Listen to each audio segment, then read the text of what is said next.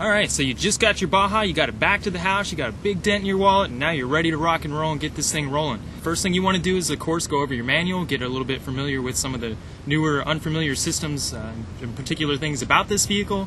Uh, definitely make sure you charge the receiver battery. Make sure you got some good dry cells in your remote, and uh, that's pretty much about it. And get some pre-mixed fuel, 87 octane, and the provided oil, and we're pretty much ready to go. So let's give this thing a shot. First thing, as always, turn on your transmitter. So there's a signal already going to the vehicle. Go ahead and turn on the Baja. Switch right down there. Just make, make a once over. Make sure you got got your steering. Make sure you got throttle actuation. Good brakes. We're ready to go. First thing we want to do is we want to get this primer bulb filled with fuel. So the carb got some fuel. There it is, right there maybe once after that. Next thing you want to do is you want to go ahead and apply your choke, put it in the vertical position. We're going to pull the pull start just a couple times until we hear it fire. Like that. Now you turn your choke off back to the vertical position. She should fire.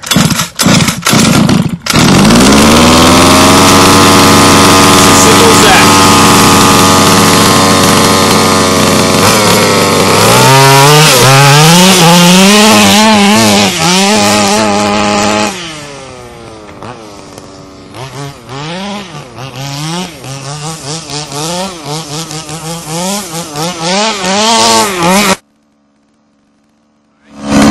Alright, so you may have just heard as I was going up this hill over here that it was fogging a little bit. Unlike your nitro friends, these guys are really finicky with the needle valves. Very small increments. Generally speaking, about a sixteenth of a turn is the increments that you'd want to adjust these in. Your low end is indicated with the smaller screw that has the L over it. If you need, if your idle is a little loppy, you might need to, to lean it out just a tad. If your idle's too fast, you might want to richen it up just a tad. Generally speaking, only about this much right here. Makes a big difference. I'm going to illustrate what I just talked about by adjusting the low end both ways to show how it bogs. If you richen it too much, you notice your idle gets really loppy, it's too much fuel. You go back, you go too lean, start speeding your idle up because you're starving the engine of fuel. Neither of which you want. You want the sweet spot in the middle. Just about like that, probably.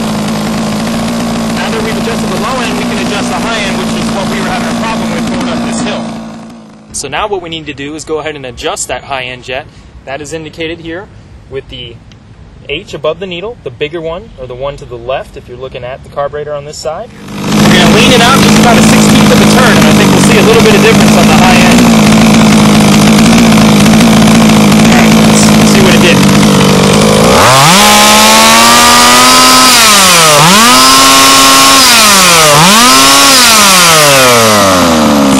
Sounds about as heavy as she's going to get. Let's see how it performs.